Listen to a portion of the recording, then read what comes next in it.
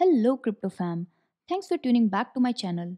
In my last video on soulbound tokens, we came across quadratic funding concept. So in this video, we will make an attempt to understand what is quadratic funding and how is it an optimal way to fund public goods. Now let me pull up an article from Medium on quadratic funding and I'll also give you the link for this article in the description so you can go and check it out yourself. Now before moving further, we will first try to understand what are public goods. Now public goods are generally provided by governments such as public infrastructure like railroad, public parks, medical services, etc. Now if we have to define public goods formally, a public good must be non-rivalrous, which means that use by one member does not decrease availability to others and non-excludable which means that everyone should be able to access it. Our examples that we just discussed, like public parks, etc., are an example of public good. Now, quadratic funding in nutshell means individuals can donate towards public goods or their favorite projects. These contributions will then be matched by government funds, philanthropists, or grants program. Now, let us try to understand this with an example. And let's see, there are three projects project A, B, and C and there are different number of contributors to each project. Now project A has 5 contributors, project B has 2 contributors and project C has 20 contributors. And the total amount of contributions that all the three projects have received is equal. The only difference is, is the number of contributors and the amount contributed by each individual. In case of project C, each individual has contributed $50 which is the least among all the projects and in project B each individual has contributed $500 which is the highest among all three. Now let's say there is a $10,000 grant program which will be provided by governments or any other public grants and these $10,000 and these $10,000 will go towards each of the projects. Now the amount that will be matched from public grants towards each of these projects will be different and that will be calculated based on this quadratic funding formula. Let's try to understand this with an example. Let's start with project A. In case of project A, there are 5 contributors and each of them have contributed $200. So we are going to take the square root of each of the contributed amount. So we are going to take square root of 200 5 times because 5 contributions have been made each of $200 we take the square root for each and then we square it out and at the end we get 5000 for project A. Similar calculations if we perform on project B and project C we will get 2000 for project B and for project C we get 20000.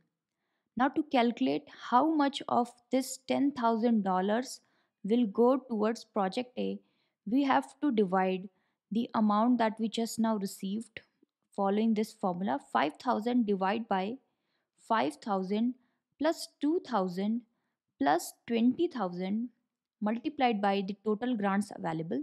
And this comes out to be around $1851 for project A so from the total grants of $10,000, Project A will receive a contribution, a matching contribution of $1,851 approximately. Now, if we perform similar calculations for all these three projects, you can see that there is a huge difference in matched amounts for all the three projects.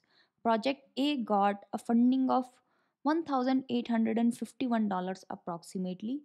Project B got a funding of magic funding of $740 and project C got a whooping $7,407 and if we see the percentage of initial amount we can observe that for project A it's 185% of the initial $1000 that were contributed. For project B it's 74% and for project C it's whooping 740% so what has changed in case of project C that it has received the largest amount of magic funding from this $10,000 public grant. As you can observe that project B has the largest amount of individual contributors which is 20. This means a project that has large number of individual contributing to tends to serve a larger public and they should receive significantly more funding than the one that tends to serve a smaller audience. Now, quadratic funding is not a perfect way to fund public goods and it has its own shortcomings, which we will discuss in our next video when we talk about quadratic funding and soul-bound tokens. Now, there was a paper published on quadratic funding by Vitalik Buterin, Zoe Hitzig, and E. Glen Weyl, and also there is a blog post written by Vitalik Buterin.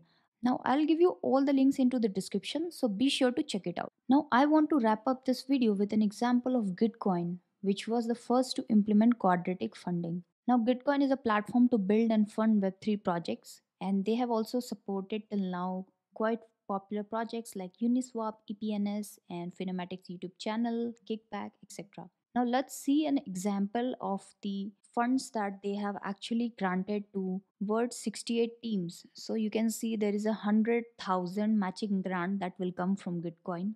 And if you see an example here, you can see these are the projects, and this is the amount that they have raised from people and this is the number of backers. So you can see that project Ant Hub has maximum number of backers and plasma group has the least number of backers. So proportional to that you can see from the funds of 100000 the maximum of $16209 was received by Ant Hub and the least amongst all the matched amount which is $3280 went towards plasma group. Even though if you take a look at this amount raised by people you can see that lighthouse has got the most amount in us dollars raised amongst all these projects. However the amount matched was highest for ant hub simply because it has more number of backers as compared to Lighthouse. So that was all about quadratic funding and in our next video we will discuss how quadratic funding can be improved with soulbound tokens and that is it for this video folks. I hope you liked the video. If you did please like this video, subscribe to my channel and I'll catch you in the next video. Bye bye.